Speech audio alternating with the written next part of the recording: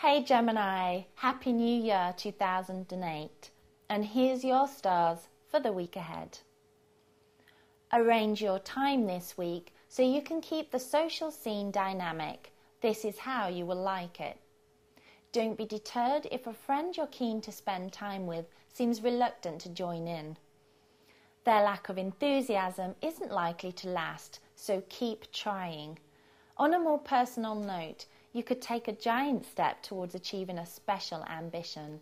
Your confidence is high and your charisma is impressive too.